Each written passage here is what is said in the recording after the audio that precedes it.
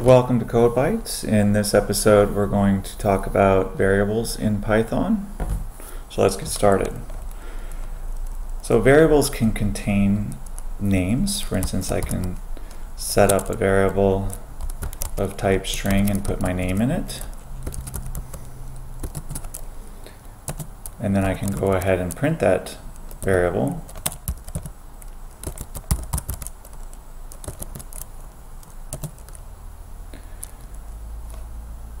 Uh, variables can also contain numbers. So I might set up a variable with my age in it.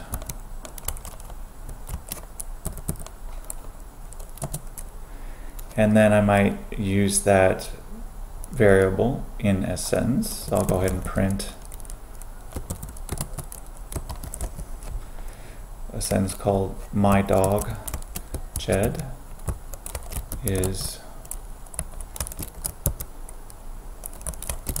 so many years old.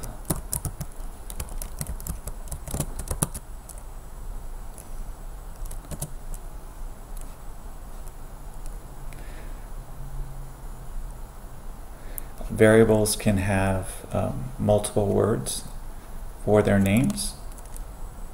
For instance, I can set up a variable called jewels.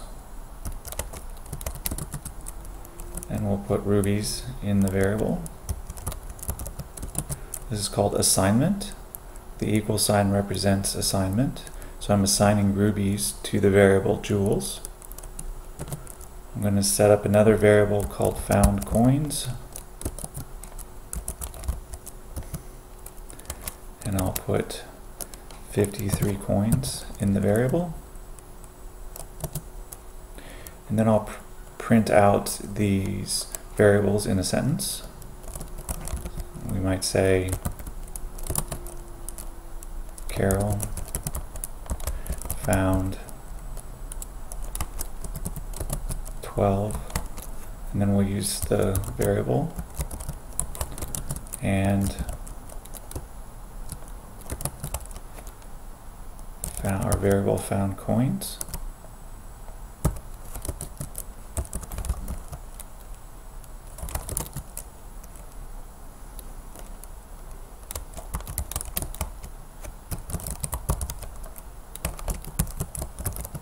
in a stolen pirate's chest.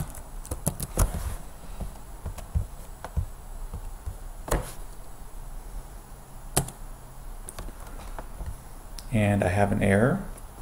And the reason I forgot I have an error is because I forgot my comma after my and. So I'll go ahead and use the up arrow to go back up to this statement. I can hit enter again. Go ahead and put in my comma and then go to the end here and hit enter again. Now it's saying that EOL, which means end of file, was reached. And that means um, what happened is I, I'm missing my quotes to end my string there. So again, I'll go up to my statement. Uh, I found a spelling mistake and let me also put in my quotes. And now you can see that my close parentheses will end the file, so I should not get the same error message. And now I see that Carol found 12 rubies and 53, ah, I forgot the word found coins. So I'll go and add one more thing. So I need to add coins and I'll just make them gold while I'm at it. And then I'll hit enter. So now we have Carol found 12 rubies and 53 gold coins in a stolen pirate's chest. Variables um, can be named a number of things. Um, however, uh, they cannot start with numbers. So if I try to uh, make a variable called six clowns, and I try to put in the name of the clowns,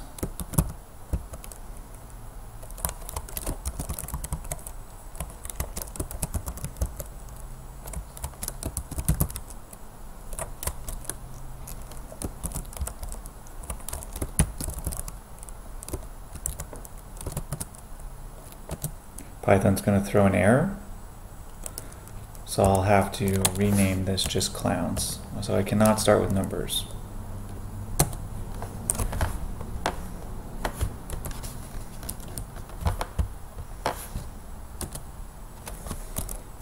And then I can go ahead and print the clowns.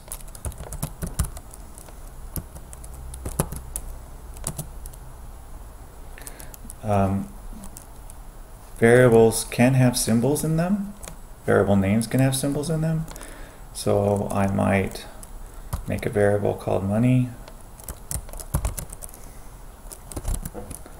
and put a dollar sign in there.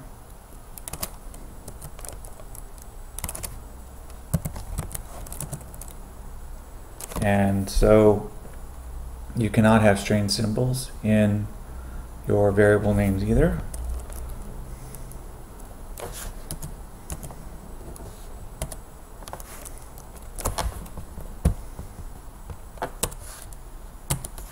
Now I can print money.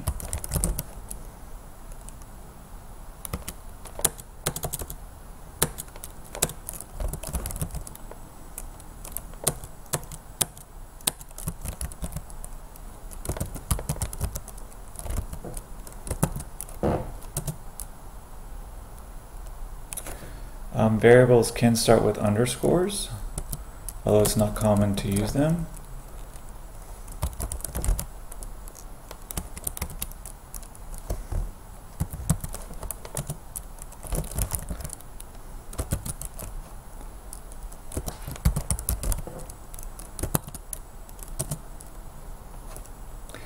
And variables can contain mathematical expressions.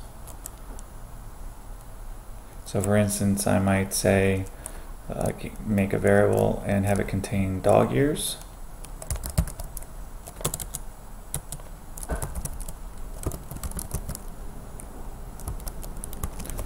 So I'll say dog years is equal to 3. Oops, I forgot my equal sign.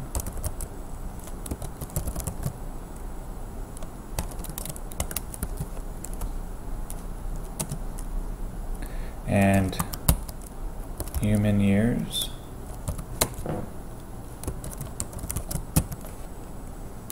is equal to dog years times 7. And then I could print out a statement like my dog Jed is dog years. That means he's three.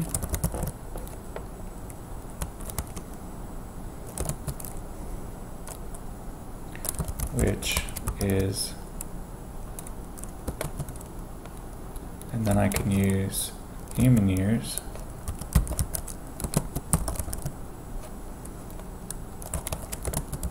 for a human.